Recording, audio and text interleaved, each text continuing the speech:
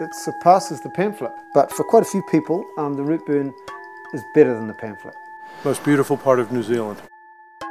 One of the great walks, isn't it? And we've heard like this is one of the best walks in the world. It's like one of in the top 10 apparently. So we thought, yeah, definitely want to come down and do it while we're here.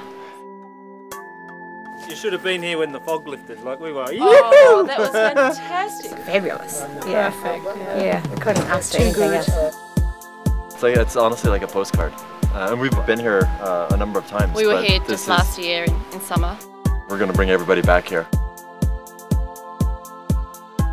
My husband and I did the Milford track last year and thoroughly enjoyed it, so we thought we'd try it again, and here we are. We got a view right down there and yeah, right there. Then we ran down here. We bolted. So, so we could see the glaciers around the corner. Yes, top spot. Always a bit critical of them too, but I mean, the, the track's stunning.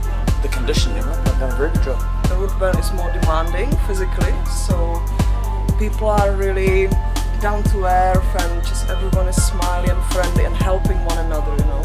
The Routeburn has um, more time above the bushline, better alpine views.